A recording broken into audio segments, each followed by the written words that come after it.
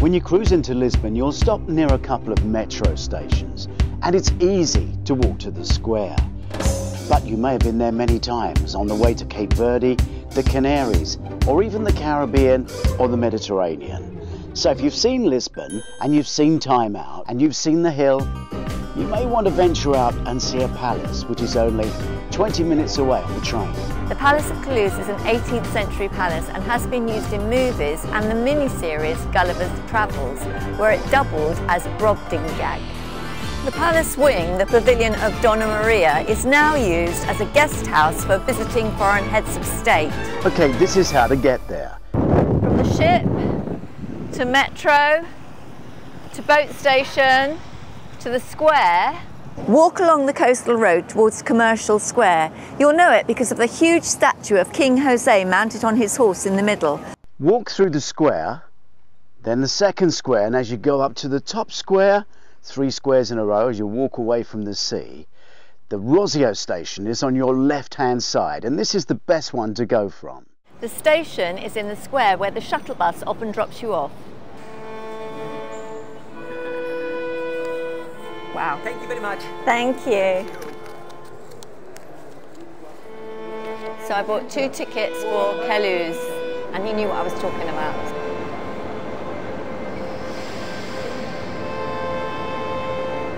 So that was an easy journey, 18 minutes it took. After you come through the ticket barrier, you turn right and take that exit.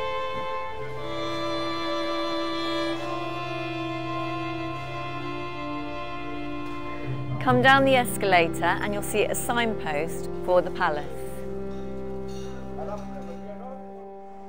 This way.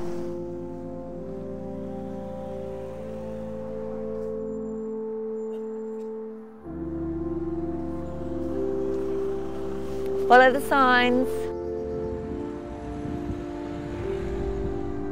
So we've arrived at the palace. It's just one straight road down and it's an 18 minute walk after the 18 minutes on the train. Not far.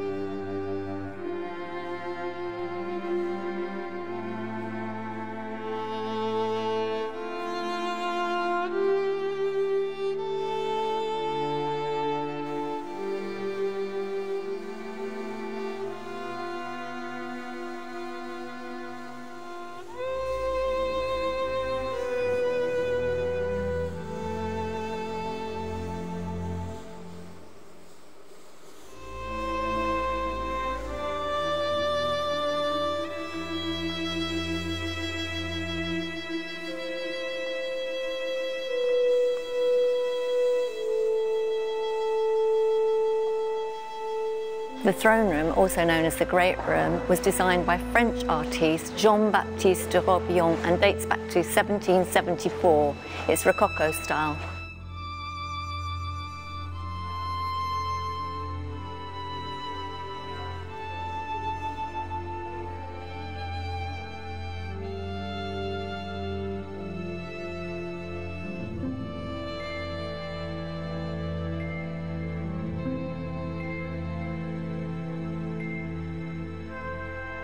The historical organ in the Royal Chapel represents one of the greatest feats in Portuguese organ making.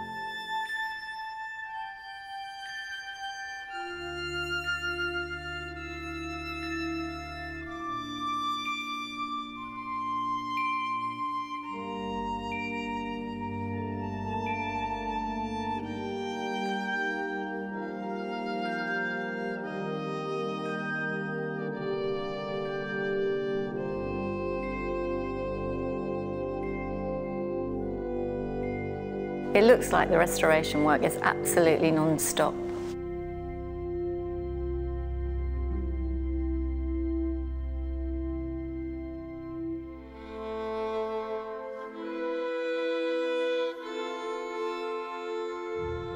This is one of the bedrooms. This one belonged to Jose.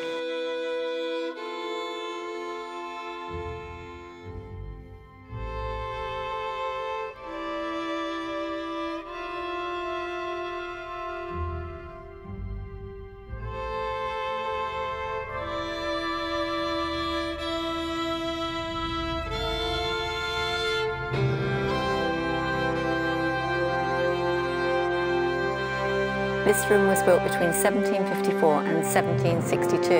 It's the room of columns, the evening music room.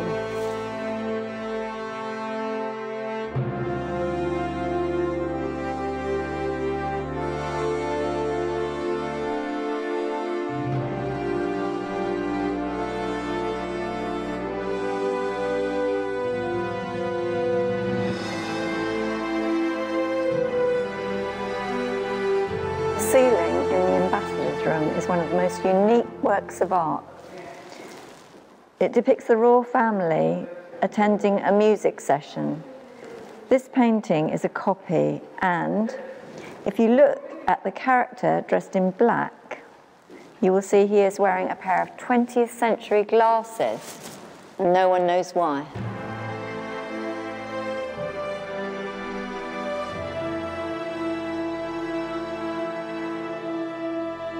Was here that Queen Maria's ladies-in-waiting gathered.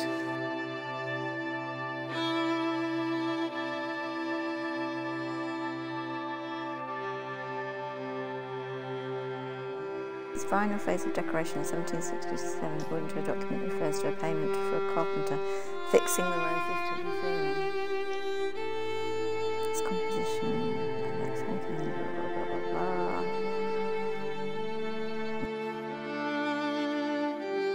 This room has paintings depicting La Mancha and Don Quixote around the room.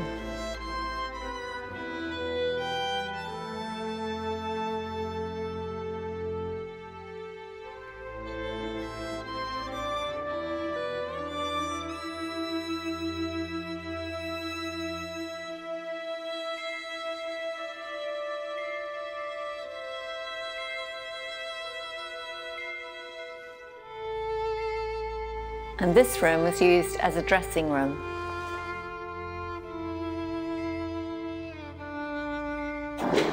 The audio guide is an app on your phone and there's a QR code to take you on a quest around the garden. Nowadays, everything is worked off your phone. Not to be missed, the tiled ceramic canal. It's decorated with 18th century scenes and the royal family often used to take a boat down here on sunny afternoons to enjoy themselves.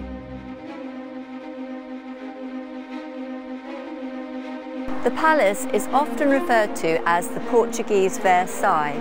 In 1908 it became the property of the state and was extensively restored in 1934 following a serious fire, which gutted a third of its interior. Most of the paintings are copies. One of the most impressive walkways in these beautiful gardens is Bosquet Grove with this stunning view. Many of the trees here were brought in from the Netherlands in the 1750s.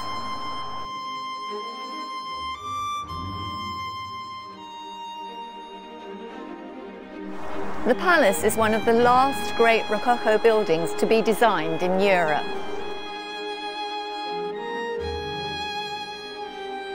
Surrounded by beautiful lakes and fountains and lead statues depicting mythological scenes, the palace combines Baroque, Rococo and neoclassical architecture designs and the gardens are inspired by French styles.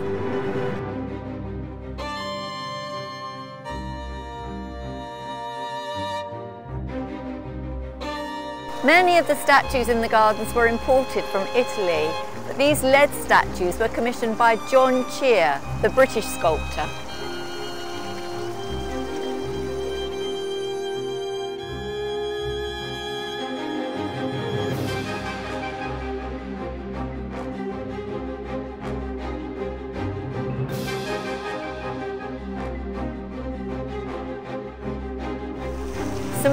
John Cheere's work and there's Neptune, god of the sea.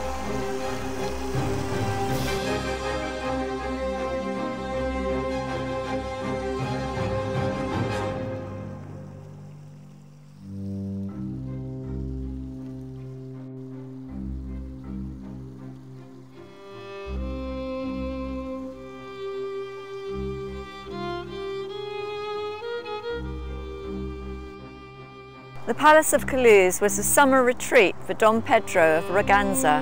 He later married his own niece, Queen Maria I, and so became king consort.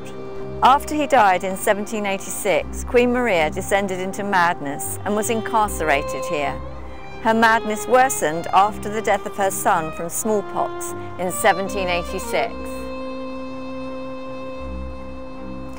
The palace became the official residence of Prince Regent John VI in 1794.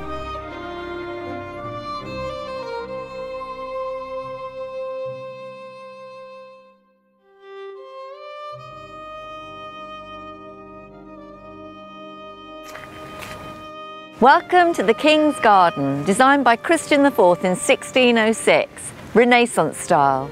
It sits outside the King's Palace. Rosenborg Castle houses some of Denmark's greatest treasures, including the crowns and the crown jewels. Let's take a look.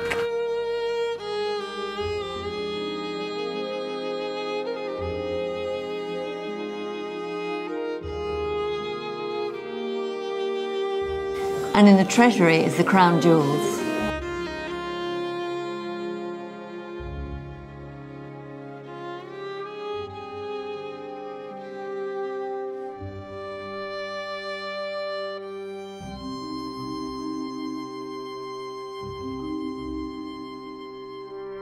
We're starting our tour of the Almudena Palace, which is mainly Moorish, and this is the Hall of the Fireplaces.